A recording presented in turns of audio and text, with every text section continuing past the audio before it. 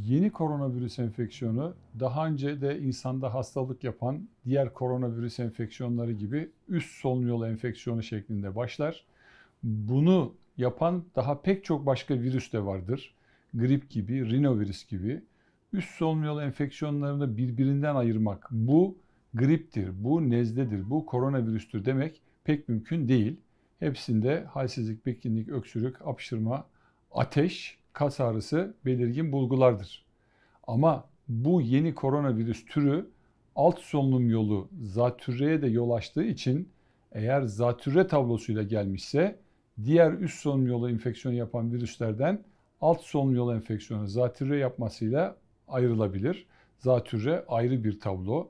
Balgam çok daha belirgindir, öksürük çok daha belirgindir, ateş daha şiddetlidir, kas ağrısı daha şiddetlidir. Buna belirgin nefes darlığı ilerler ve filmde, röntgen filmi çekildiğinde o akciğerdeki infiltrasyon dediğimiz virüsün çoğaldığı, enfeksiyon yaptığı yeri görmek mümkün.